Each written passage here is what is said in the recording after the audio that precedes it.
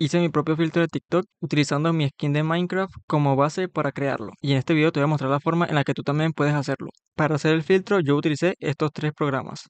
Blockbench para poder editar la skin y exportarla como un archivo OBJ, que es el tipo de archivo que vas a necesitar para convertir la imagen de tu skin en un objeto 3D. Y luego Blender va a importar ese archivo para crear un documento con el formato para poderlo importar en el editor de filtro de TikTok, el cual está totalmente gratuito, al igual que los otros dos programas. Para descargar el instalador de todos los programas solo hace falta ir a la página oficial de cada uno y elegir el sistema operativo que estemos utilizando. Los pasos para la instalación de todos los programas es completamente sencilla ya que solo es darle en siguiente, siguiente y instalar. Luego de instalar todos los programas debes abrir el Blockbench para poder editar la skin y exportarla con el tipo de archivo necesario. Si quieres crear el filtro de tu skin con solo la cabeza no hace falta que dibujes el resto del cuerpo. Al iniciar el programa puede que tu skin o tu personaje esté en una pose muy diferente a esta. Para que el filtro funcione de manera correcta, necesitamos que el personaje se quede en una pose totalmente quieta. Para hacer eso, solo falta que vayamos a la pestaña de poses y seleccionemos la primera en la cual está totalmente plano. Luego de hacer eso, podemos eliminar todas las partes del cuerpo, la cual no necesitaremos ya que el filtro solo contará con la cabeza del skin.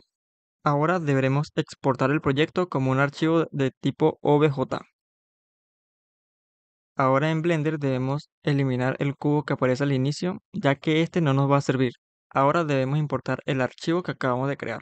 Después de importarse aparecerá un cubo que es nuestro objeto. Para que sea visible nuestra skin debemos ingresar a esta pestaña y cambiar el tipo de shading de estudio a flat. Luego en la sección de color debemos cambiar de material a textura. Si te aparece la textura de esta forma es normal ya que es una textura de un tamaño muy pequeño. Y Blender al escalarla aplica un filtro para difuminar los píxeles. Para solucionar esto debemos ir al menú de material y desplegar el menú de color base. En la opción que dice linear debemos cambiarlo a la segunda opción Después de esto, nuestra skin se debería ver de forma correcta. Otra de las opciones que debemos modificar es en el menú de objetos. Debemos aplicar una rotación de 180 grados ya que el programa Blockbench exporta los objetos mirando hacia atrás. Esta configuración debemos aplicarlo tanto en la cabeza como en la parte superior. Ahora para finalizar debemos exportar el archivo con la extensión JLB, ya que este es el formato de archivo que acepta House para importar los objetos 3D. Para poder usar House necesitamos tener una cuenta de TikTok en la cual podemos iniciar sesión. Ahora solo debemos seleccionar para crear un nuevo proyecto.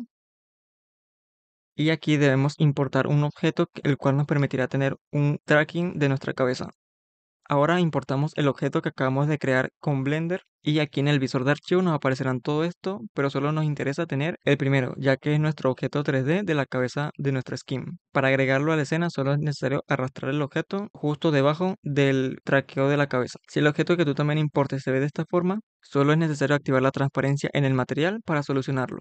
Ya solo queda ajustar el tamaño y la posición del objeto para que cubra totalmente la cabeza. Y de esta forma es como funcionaría y se vería el filtro en tiempo real.